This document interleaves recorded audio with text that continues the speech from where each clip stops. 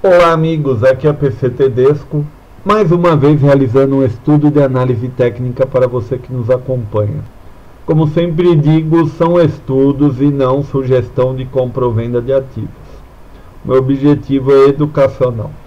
Então vamos lá, fechamento do dia 22 de maio de 2013.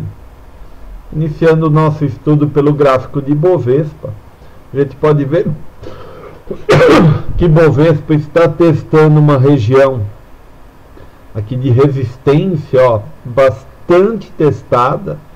Pode ver um, dois, três, agora testando pela quarta vez essa linha, essa resistência horizontal. Formou um candle aqui de dúvida, né? A gente pode ver. E é um teste de resistência. A gente vê o estocástico IFR aí sem direção, operando um volume abaixo da média. Rompendo com o volume é um bom sinal. Respeitando, a gente tem que analisar aqui, pode motivar aí um movimento corretivo, certo? Teste de, de resistência não tem segredo. Ou rompe ou respeita. E justamente estamos aí testando uma resistência muito testada. Petro caiu 1,58%, fechando aos 19,92.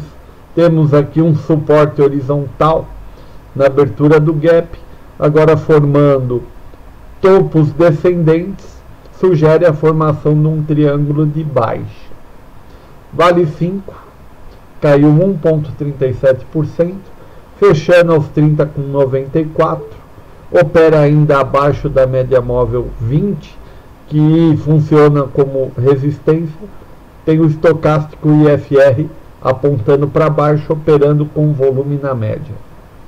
OGX, valorização de 2,87%, fechando ao, ao opa, tô com a língua enrolada, fechando a 1,79. A gente vê as bandas de Bollinger aí se afunilando, né?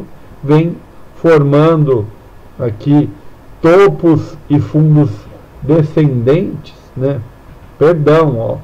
Vem formando aqui, ó, topos descendentes. Olha lá. A gente vê aqui topos descendentes e fundos ascendentes, que é o nosso famoso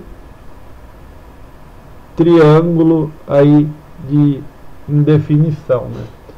Gente vê aqui essa situação, temos que ver para que lado vai romper, se para o lado do suporte ou o lado da resistência. Itaú Unibanco, bela valorização de 1,31%, fechando aos 33,26%, já fechando fora das bandas de Boeing, traçar uma horizontal que é a nossa resistência aqui, ó. Uma resistência horizontal. Estamos chegando perto desse teste de resistência aqui traçado. A gente vê o, o estocástico já disparando venda, né? E o IFR ainda apontando para cima.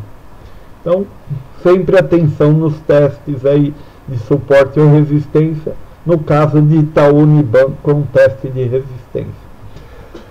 Legal, pessoal. Ontem não pude aí realizar o estudo do dia, né? Fechamento do dia.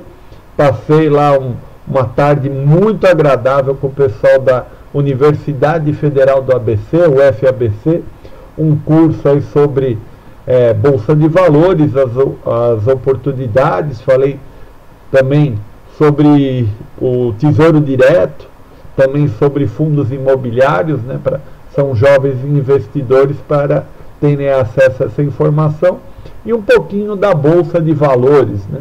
Então, queria agradecer a, a ajuda lá, todo o suporte do pessoal da UFABC, a Aline, a Gemima, o Rafael, que receberam muito bem e um evento muito bem organizado.